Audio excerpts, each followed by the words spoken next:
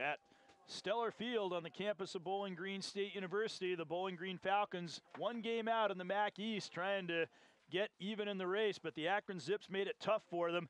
A three run homer by Jake Plata gave Akron a six run fourth and a big lead that the Falcons were trying all game to cut into. They finally succeeded on a Derek Spencer home run blast in the eighth. The Falcons went on to a 13 9 win over the Akron Zips.